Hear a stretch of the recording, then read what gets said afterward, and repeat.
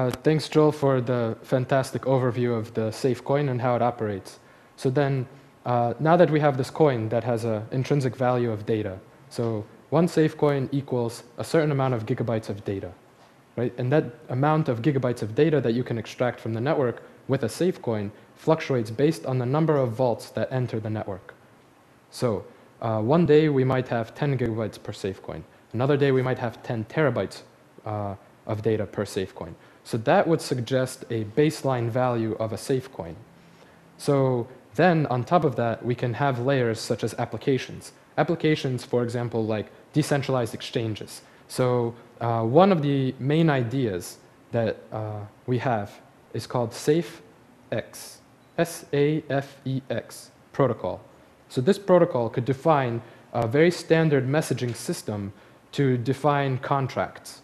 Um, SafeX protocol is based on something called FIX protocol, which is an already well-established, well-used for the last 22 years system that allows current uh, exchanges to transmit a basic message and understand that basic message from uh, the source to the uh, recipient of the message to understand that something happened financially. So like the example would be a sale of a gold future for example. So a contract that uh, has uh, gold, a certain amount of gold, and then a certain price, it gets sent to an exchange, and that exchange, if they accept that deal, they get the gold contract, they send the cash over to the originator. So we can devise that system and implement it into the safe network and take advantage of the encrypted processing that safe network allows us to do, which is safe network is the software that does the uh, distribution of of data and the encryption of data messaging, right? So we have something called SafeX protocol, like this. So using SafeX protocol, we can build applications that understand each other. All applications will use a standard or can use the standard or define their own standard like a SafeX protocol, for example. And this way, we can send things like digital items for example, and we can define prices for them. We could define expirations for those items, for example. Uh, for example, let's say you want to share a, photo for one month and then have it deleted, or you want to share a video for one hour and then have it deleted. So you can use something like a SafeX protocol, define the messaging of a certain data, and then have that data be blocked off, for example. This is one idea. So a main idea that we'll start with is very simple we'll take a, uh, a Bitcoin and allow you to trade it for the SafeCoin, right? Uh, this is the first way that we can use the SafeX protocol.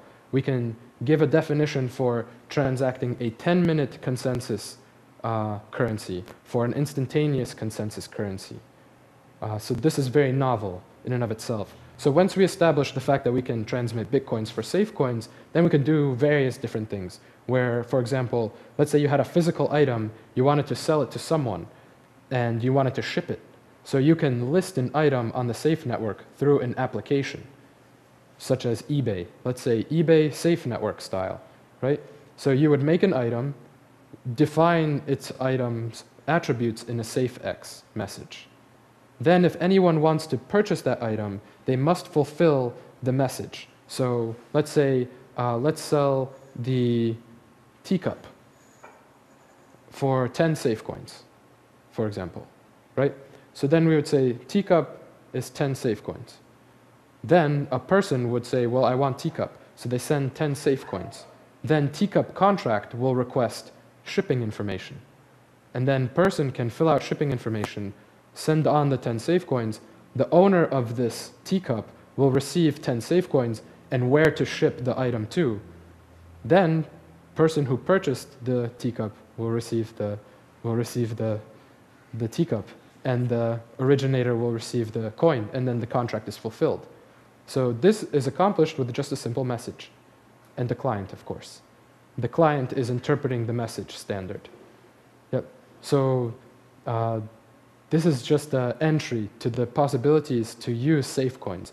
Then at the end of the day, while we can buy and sell things like teacups and chairs and uh, what have you, and bitcoins, at the end of the day, the safe coin will buy you data.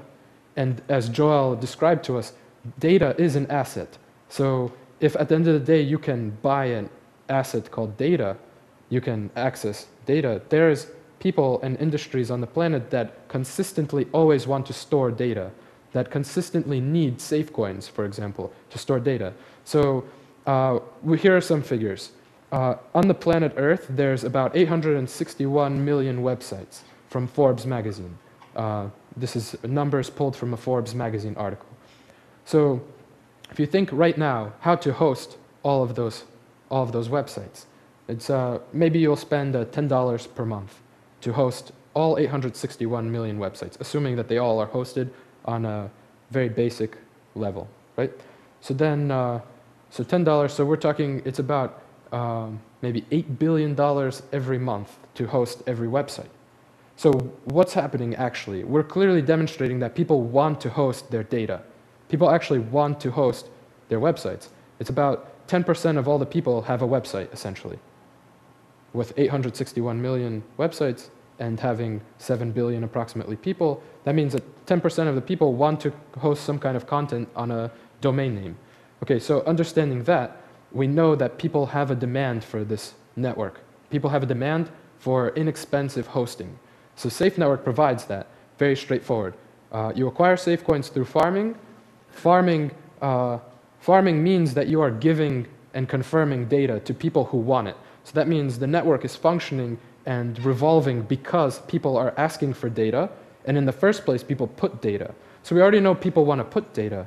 Then, uh, which data people want to get is now irrelevant to the person who hosts, because the person who hosts has like all the data, or a piece of all the data, rather. So then if someone wants to access one data, then a farming reward occurs. So only when data is relevant to a person is when farming occurs and new safe coins are generated. So this means that imagine the first 10% of the coins that are issued now were spent on putting data. If no one gets the data, no new safe coins are generated. That's pretty straightforward. But then people will start to access data. So then farmers will receive on a random, very distributed basis safe coins. Because how do you know that you have the correct piece? Like you can't just say, oh, I want just the popular files. You see, you have all the files, all the pieces of files. So it's very fair, the algorithm itself. Uh,